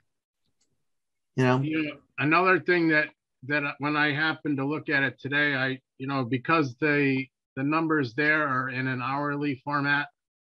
Um, the thirty-four eighty-three, that is, is coming up as the median. When you compare that to like the highway superintendents themselves, that sixty-nine, seven fifty-two is thirty, equals thirty-three fifty-three. So in this case, the two water superintendents are making more than highway superintendents. Yeah, we we're not- can't have that. We're not opening up that. And I'm just, I'm just letting, you know, that, that, that it almost should be, the, Mm, nu- that number should be really in, in a salary more so than hourly. Yeah. Uh, FYI, everybody, I just went to the water department budget in my budget book. And they request, or, you know, they are requesting that he be, that the superintendent, his salary be raised to fifty thousand. Which is an eighty-nine hundred and ninety-six dollar increase because he has more responsibilities and he works more hours. Yeah, I think that was went with an increase in hours, if I recall. Yes. Yeah. Yeah. Okay. Okay, um, getting back to the COLA. agenda. Yeah. Do we have enough energy to talk about COLA right now? Yep, because you got to make a decision. The finance committee's getting worked up about it, so we got to Okay. have it. All right, then I'll open the discussion for cost of living adjustments. Brian, do you want to update us on the information that you've gotten or haven't been able to get, as your note had said?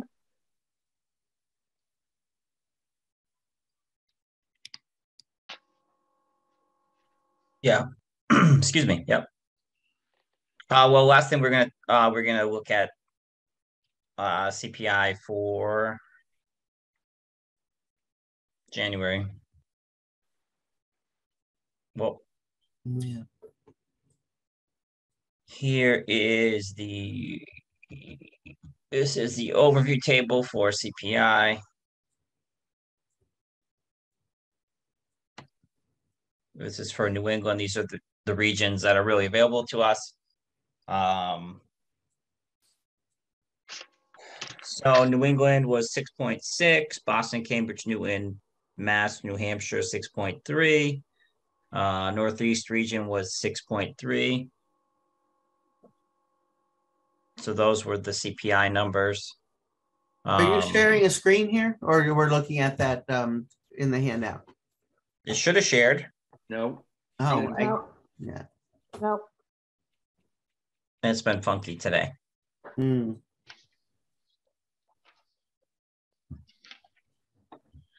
Um, Let me stop sharing and I'll Yeah. reshare. Okay. there you go. That work? Nothing's That, that works. All right. Um, there we go. That's what I said. Yeah. Yeah. Northeast six point three, New England Division Hmm. six point six. Boston, Cambridge, Newton six point three. I And think the reason that the- the amount that it jumped from December to January, but that's, that's a big increase if it's a 12-month average.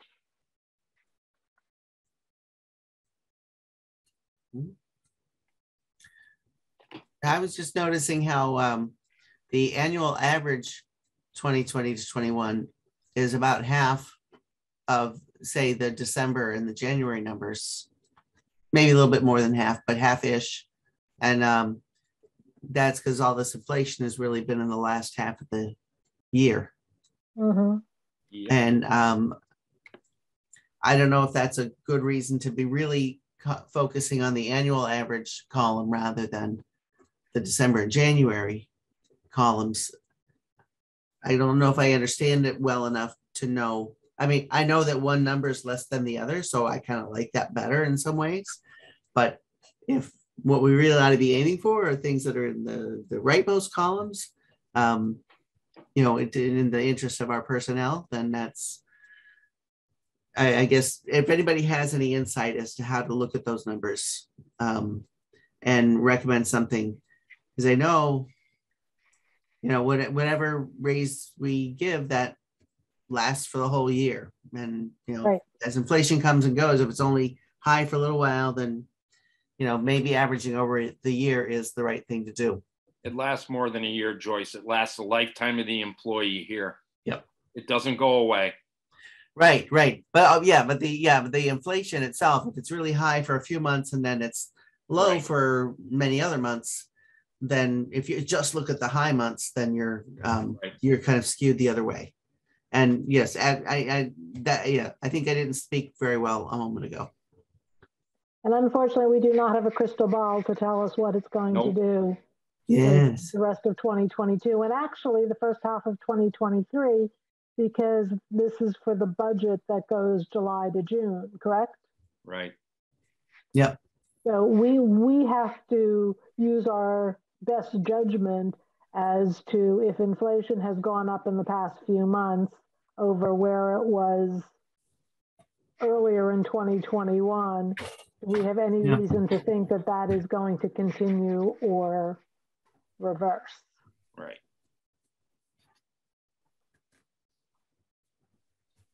And I think it comes down to, because none of us are either fortune tellers or economists, Nope. Mhm. it comes back to our best judgment. Fortune teller. Do we have an indication how close we are to knowing what the school is doing yet? Is that still in, The I think the schools are under contract right now. They're negotiating for the next set of contracts, but schools are, I think they're, they might be two percent this year. Um, they were like, I, some combination of one point five and two for the three years. Um, and I, so it's no more than two percent. But that's just because, that's because they're in that contract, and right now we're negotiating the next one, which Hmm. we're dealing with the same issue. Oh, Yeah.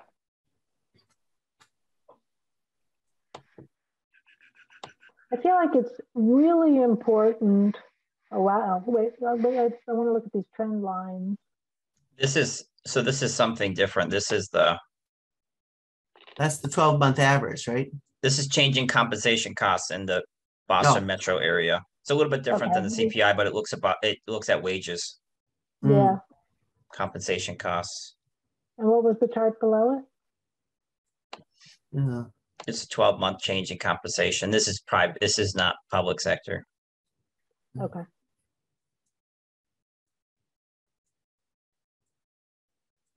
I just can't help but feeling that I want to do right by our employees because they have, these are the people who have been, you know, on the front line for this town over the past two years when things have basically been hell.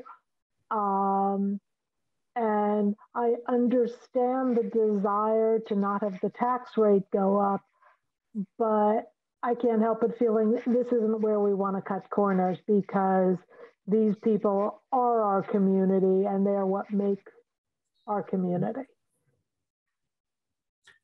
Well, the other way, you, we can do this two different ways. We can, we can give a good sized COLA and then they, there isn't any, or we may decide not to give them any COVID money. Or we go with a smaller COLA and then Mm. assume that the, some of the COLA money will be doled out to the employees. I don't know what the schools are doing about COLA money or uh, COVID money. Uh, you Yeah, know, that I don't know. I don't know that. we talked about giving the transfer station attendant uh, whatever, however many hours he works, will will compensate. You know, uh, give him so much an hour for hours worked because he's on was on the front lines or they were on the front lines uh, during the whole COVID thing.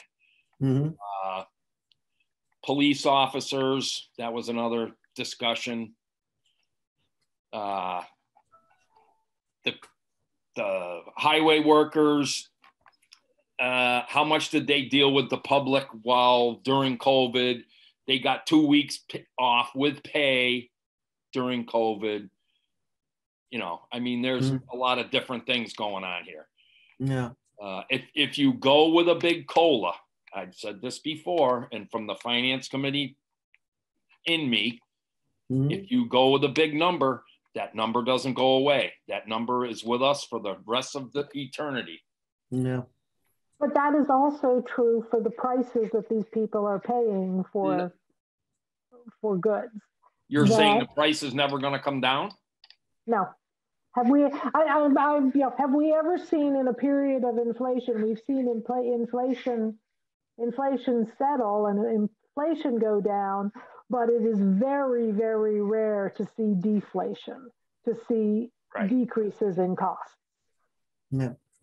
So these, I think, uh, these these price increases. Yes, gas fluctuates. You know, gas may come down somewhat, but there's you know so many things that we've a, a new bar is being set. Yeah. Yep. I think it's really interesting that the um, the the pressures on this is for private industry that they the- sort of their pressure seems to be saying they're they're raising people's wages in the three to four percent range, and we're competing with them for workers by and large. Um, and it, it didn't seem to matter whether it was the um, uh, the U.S. or Boston, although I can't tell the which which is for which, but that you know there's um, the one that's at the chart number two that's sitting in the three to four percent range, um, going up towards five. Um, the chart one, very similar, um, although that one I can tell that the lighter uh, line is Boston and the darker line is the U.S. Um, and that is also very similar to the annual average column, uh, where you know there's like 4.7, 3.9, 3.4, 3.6, 3.3.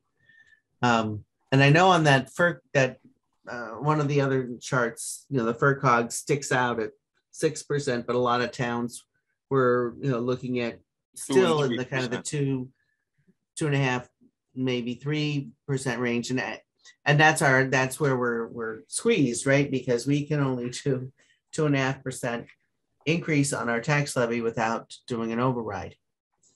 And so it seems like something in the three to four percent range might be doable this year. We have a little bit of wiggle room in our levy limit, but we we we would have a real problem if we have to do that year after year after year. And we I think we have a real problem with doing something like the FRCOG is doing for themselves, really, uh, with the six percent. I I I don't see how how that's gonna work. In, in the Um, FRCOG's case, they're just going to pass the cost on to all the towns. And That's we- right. And we, we have to eat it. We, if, Right. if if in the private sector they decide to give their employees a four percent COLA, they they get the money back by raising the price of their product five percent or whatever. The town can't do that. Right. Right. If we Unless we them- do an override, which is unlikely. That's right. Yeah. That's right. So, yeah. So I, I, feel like if, if we can do something, you know, better than the usual two, two and a half or so that we've been doing in the past two years, I, I, I mean, I, I'm really sympathetic with what Susan is saying that, you know, the, I, I have no idea if I'm even going to get a raise this year, but you know, if it, it, the inflation is real and it's measurable, and we can probably justify it as a recommendation. And I don't know right. how All much that will cost the town and what kind of trouble we'd be in. But you know, I, I sort of feel like that's where we ought to be in the three to four percent range. Which is, Agreed. you know, that's basically one way of looking at it. It's, that's meeting in the middle. If the inflation, inflation is at seven and a half percent, half of that puts you in the three to, to three to four percent. So, you know, Yeah, that graph we're looking at right now is basically meeting, meeting the employee in the middle. And some of that difference, especially for key employees, can be made up with the COLA, with the COVID relief money. yeah, the COVID relief being a, a one-time sort of thing. Right, right. Yeah.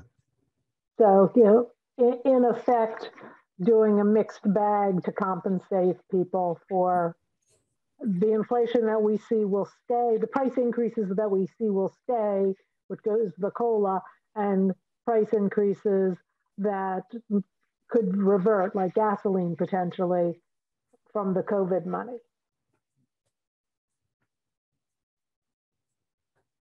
I will make a motion, and I'm picking a number fairly randomly, so this is just discussable, if that's the word.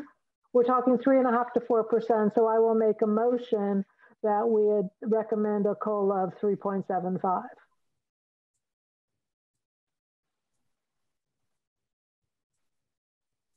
I'll second that.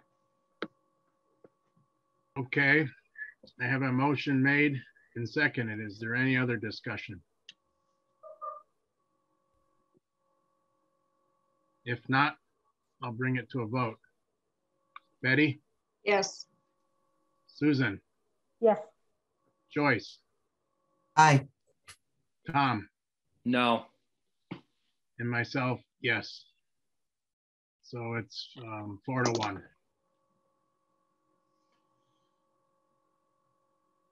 Okay, um, the next item on the agenda and our last item on the agenda was the premium pay. Um, Brian, do we need to try to determine an amount or just make a recommendation to how do we handle this? Well, we can table it if we want to. Um, Mm. or we could talk, yeah, I don't, I don't know that we need specific amounts. It's, I mean, Um, it, I guess what I would say if this is really, while there's a pot of money that the town has to decide what to do with, it, it's not something that affects our budget for next fiscal year.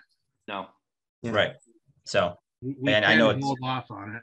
yeah, yeah, and I know we're going on two hours and yeah, I'm not thinking very well anymore. At, you know, at eight oh one, that's what happens to my brain. can I second That's why that selectmen motion? meetings end by eight o'clock because eight oh one and I'm jelly up here.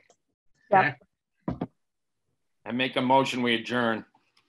A second, Okay, I'll do to people for the next meeting. There you go.